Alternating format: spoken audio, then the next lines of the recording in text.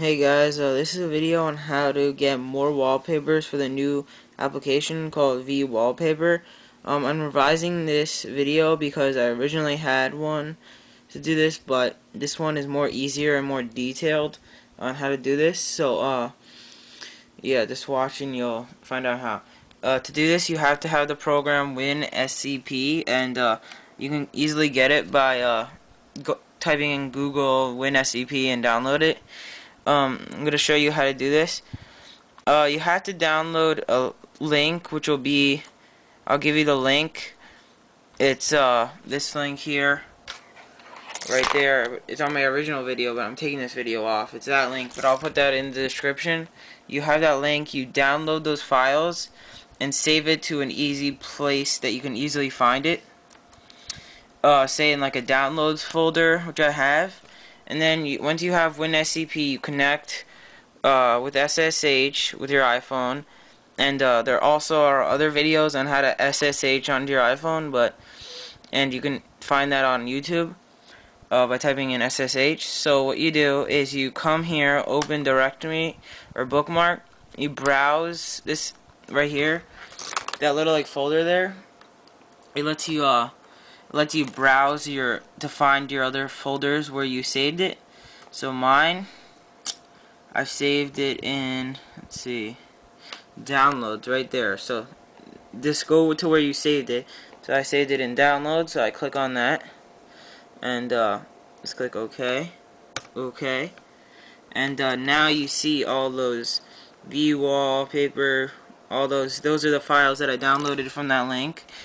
So what I can do right now is uh, I can oh shift you can shift it hold shift. Hold on I'm trying to do this. It's a little hard because I'm trying to shift and uh, copy all of them at once like that. And then uh, you can let go of shift. Oh crap. Hold on, hold on. click something weird there. And then uh oh crap. Okay so I I clicked on shift what? Hold on. First, you have to find the folder that you want it to go to. And you do this by clicking on library. Actually, not library. You click on this little button at the top. Right there. Click on that. Click on that. Now go down. You'll see applications, ARM, whatever, Apple, bin, cores. Go down to library.